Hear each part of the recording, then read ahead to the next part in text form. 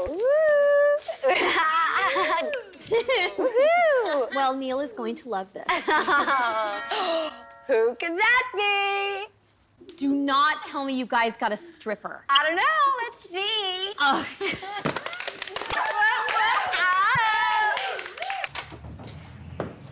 Is there a Shannon O'Neill here? yes, I'm Shannon. Uh, you're the fiance of Neil Casey? Yes, I am. Is that a crime? Oh, no, ma'am, it's not. Does your uh, fiance drive a 2002 Lexus? Yes. Was he on Route 9 tonight?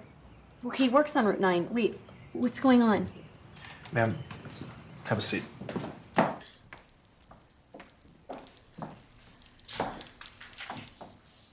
I'm very sorry to tell you this. Your fiance has been in an accident. Is he all right? Uh, he's dead. I'm very sorry, ma'am. Um, was, was he in pain? Well, I, I, I imagine he was. Uh, his body was severed in half, but he still managed to crawl across the highway. We're going to need you to come down and identify the body. But first, I'm going to need you to identify this body.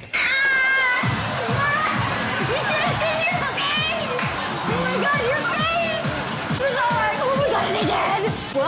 What? Yeah, like that. Okay. I told him you gotta pay to play. Was that the door?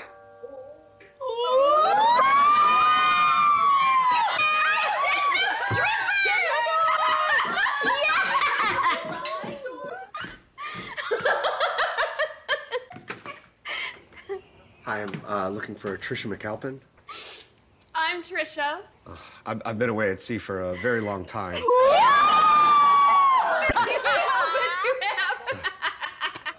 Um, I promised myself when I came back I'd find you. Oh, well, you found me. Um, um, I don't, I don't know how to tell you this, but I'm your son. What'd you say? Trish, is everything okay? Wh- When I was a senior in high school, I had to give up a baby. I, I'm sorry. I, I, I bribed the people at the adoption agency to give me your address. I'm so sorry. I just had to find you. And oh my God, we we have the same nose. Oh, I have something to show you. Excuse me, son. Houston, we have a boner.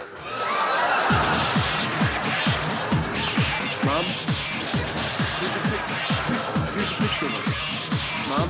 Mom?